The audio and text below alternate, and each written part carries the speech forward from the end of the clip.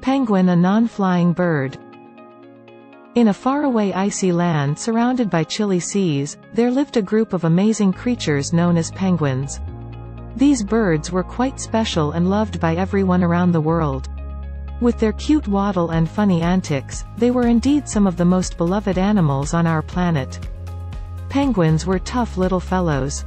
They braved the freezing temperatures of their rocky homes, both on land and in the icy waters, where they spent a lot of their time.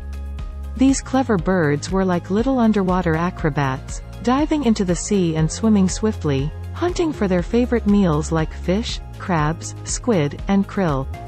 They were top-notch carnivores, even though they looked a bit clumsy on land, once in the water, these penguins were speedy.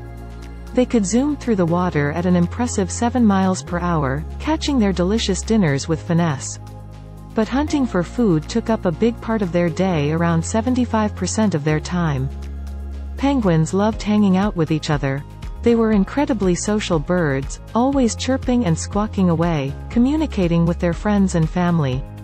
They formed tight-knit groups, taking care of each other and making sure no one got left behind. Life for a penguin wasn't always easy though. They had natural predators like the leopard seal lurking in the waters, ready to catch them if they weren't careful. But these clever birds used their teamwork skills to watch out for danger and keep each other safe. Despite the challenges, penguins were resilient creatures. They lived for quite a while, anywhere between 6 to 26 years, making the most of their chilly and rocky home. With their playful nature and strong bonds, these amazing birds continue to thrive in their cold and icy world. Thank you for joining our YouTube journey.